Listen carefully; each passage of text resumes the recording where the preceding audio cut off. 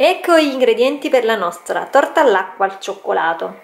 Allora, ci vorranno 275 g di farina. Io sto usando una farina integrale di grano, ma voi utilizzate la farina che preferite. 380 g di acqua, 140 g di olio di semi,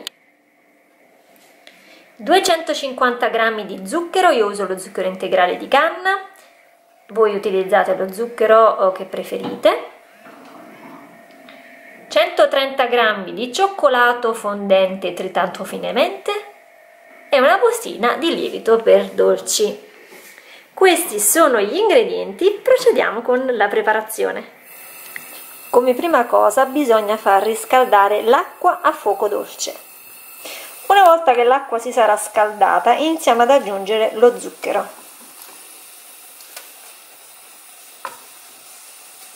Una volta sciolto il zucchero aggiungiamo il nostro cioccolato fondente e continuiamo a mescolare con un, una frusta a mano evitando per far sì che non si creino i grumi.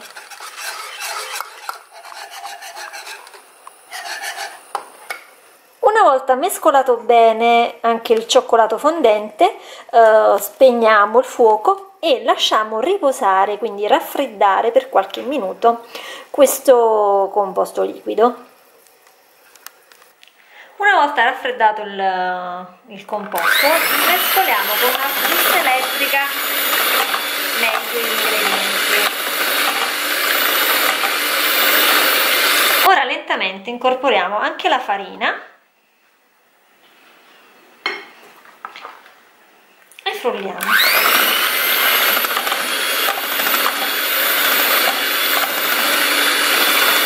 Aggiungiamo l'olio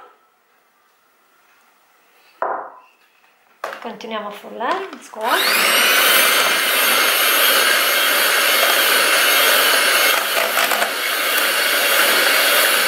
infine aggiungiamo il lievito per dolci, la bustina.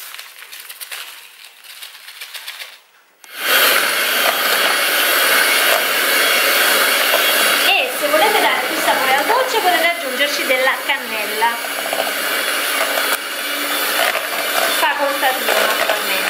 Una volta ottenuto questo bel composto liscio ed omogeneo andremo a versarlo nella nella teglia che ho precedentemente ho rivestito con carta forno. Una volta versato il composto nella tortiera possiamo andare ad infornare o in forno statico preriscaldato a 180 gradi per 50 minuti oppure in forno ventilato a 160 gradi per 40 minuti. Eccola qui, la mia torta al cioccolato all'acqua è pronta dopo essere stata in forno per 40 minuti, uh, in forno ventilato uh, a 160 gradi l'ho lasciata poi raffreddare, ci ho spolverato su delle, mm, della farina di cocco, delle scagliette di cocco, per non mettere lo zucchero a velo. E niente, vi assicuro che è deliziosa, vi consiglio di provarla. Io spero che questa ricettina vi sia piaciuta, vi mando un bacio e ci vediamo alla prossima ricetta. Ciao!